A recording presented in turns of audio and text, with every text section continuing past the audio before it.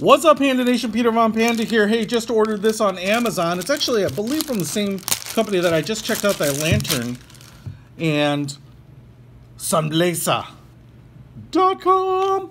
And it comes like this, and it's another light, I think. And I wanted to check it out. It has a has a built-in strap on it, and then it has kind of this, you know, soft, hard case. And zipper it all the way around. Let's just go ahead and open up this bad bad boy and take a look at it. Ooh, it's a tight fit. There we go.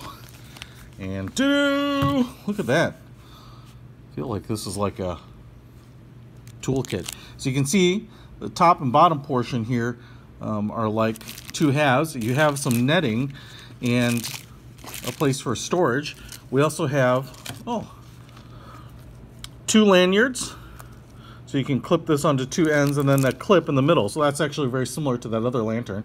Just pull these apart. There's like a compression clip in there. So that's cool. You get that. You also get a micro USB cable right here. Looks like it's pretty long.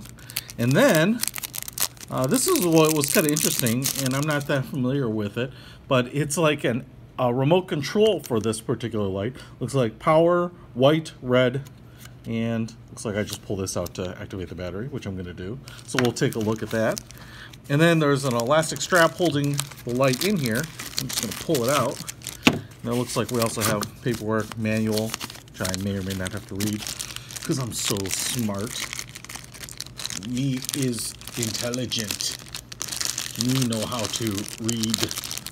Uh, apparently I don't know how to get things out of a plastic bag though.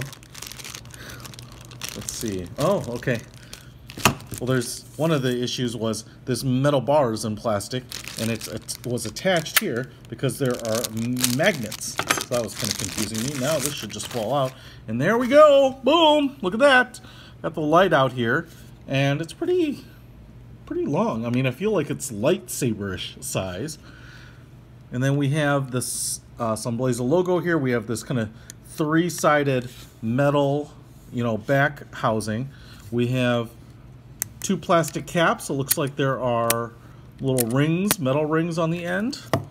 Um, same over here, called the handy light. Looks like we have the power button on this side, and then on this side we have the micro USB port for charging it up with a little silicone plug to kind of make it waterproof, water resistant.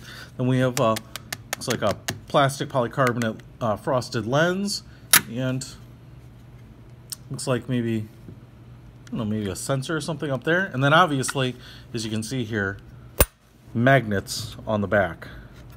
Not sure if the magnets are here. Nope, they're up here. And right there. So, you can put this bar on it, but you can also take that those lanyards and hook them up to the, the, the two loops here.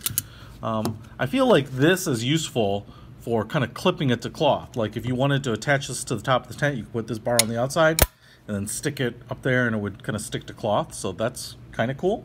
Now, I'm going to just hit the power button here. And looks like the battery definitely has some power. It's kind of glowing lightly here. If I tap it again, man, now it's starting to get now it's starting to get pretty bright, right?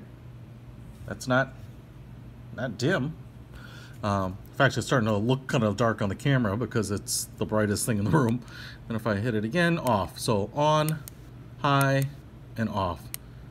And um, now I know there must be red somewhere because there's a red button. Let me just see what the remote does here. Okay, so this little guy right there is the infrared sensor, I believe. So if I put the, the light out there and hit on, boom, goes on.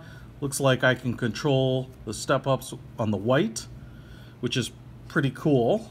So just like that, I mean, that's pretty nifty.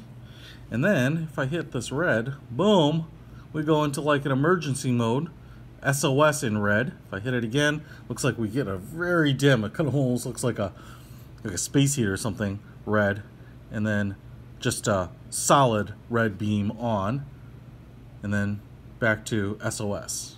Then I can go back to white and then I can turn it off. So that's pretty awesome. So what I would say is that this is going to be pretty cool for like I said, kind of making it more of a permanent fixture, hanging from a tent, hanging your campsite, hanging it above a table, and then using the remote to quickly access it. Especially if this is kind of high, you know, like the big, uh, you know, uh, eight foot or six foot tall tents, you know, that are more just for, um, you know, hanging out under as opposed to really using for shelter. You can certainly kind of add, you know, like a chandelier light really to it. Pretty, pretty cool. I'm pretty, I think that is pretty clever. Man, you know, when I was a youngster camping, we didn't have all these goodies. Our camping was more rugged than that. So, let's see how this thing lights up a room. All right, guys, so I'm in my dining room, and I have a chandelier hanging above my table here. It's perfectly dark, except for the appliances that you can see. And uh, because the chandelier is metal, the light actually sticks to it. Now I'm going to hit the remote. It's holding it right in front of me. And boom, look at that. It's just like controlling light, which is pretty awesome. And uh, now look at the table, which we couldn't see there a minute ago. I mean, this is perfectly usable, especially, like I said, if you're outdoors or camping or something like this, this makes it, you know, really convenient. And I can even go, let's see, lower. And even that, I think this would be great for kind of hanging out late at night without disturbing other people in the campsite. And let's hit the red. Helps preserve night vision. And especially on you know, this red is actually decently bright. I mean, I could play cards or something like this uh, in this light. And obviously, if we hit red again, it's going to go to SOS and then also um, kind of that really low light. Now, this is pretty, this is pretty light. I would actually say that from a, you know, a standpoint of using the light, you'd have to either be really close to it, but it could also be just nice for, uh, like I said, maybe an emergency, putting it into um, on the rear shelf of your car if it's you know disabled just to kind of show uh, people that there's a car on the side of the road or using it as a signal for your campsite so that people you know can go out and use the loo at the trees and have a light that uh, orients them back to your campsite or something like that but let's go back here to the white I mean that's that's really awesome I totally dig the idea that this is magnetic can stick up on things you can leave it in place. You don't have to go fumbling for it and find the switch on it. You can have a remote so you can control it from wherever you are. Pretty awesome. I dig this thing. Uh, I'm just to put a link to it uh, in the description. I got this one on Amazon. But, you know, if you're looking for a little bit more glamping instead of camping, man, this is the light you want to take. Peter Von Panda out.